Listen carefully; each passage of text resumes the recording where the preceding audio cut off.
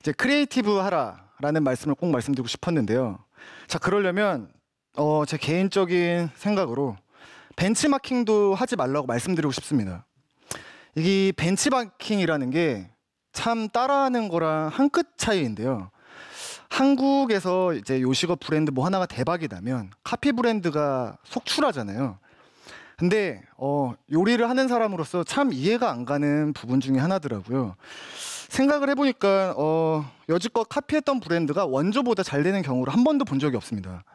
결국에는 이 카피 브랜드들이 원조 브랜드를 더 이렇게 어, 돋보이게 해주는 그런 약간 행동들을 하시더라고요. 근데 이제 카피 브랜드를 하시는 대표님들의 인터뷰를 가끔 보다 보면 어, 자신들은 카피를 한 것이 아니고 벤치마킹을 한 것이다.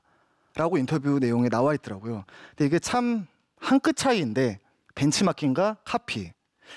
어, 그럴 바에는 차라리 저는 벤치마킹도 하지 말라. 고 이렇게 이제 요식업 창업을 하시는 분들에게 말씀을 꼭 드리고 싶었습니다.